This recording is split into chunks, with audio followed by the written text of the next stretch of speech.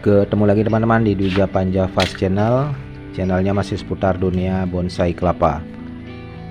Gimana kabarnya? Saya harap teman-teman di rumah saya temui dalam keadaan sehat tidak kekurangan sesuatu apa pun.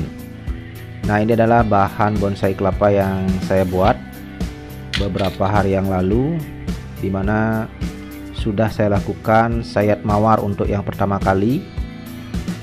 Dan sekarang saya akan melanjutkan proses pengecilan daun dengan membersihkan bagian sayap mawar yang sudah kering.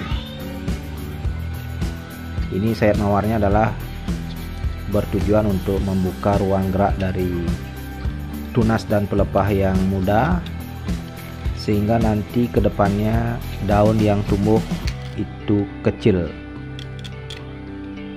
Nah ikuti proses selengkapnya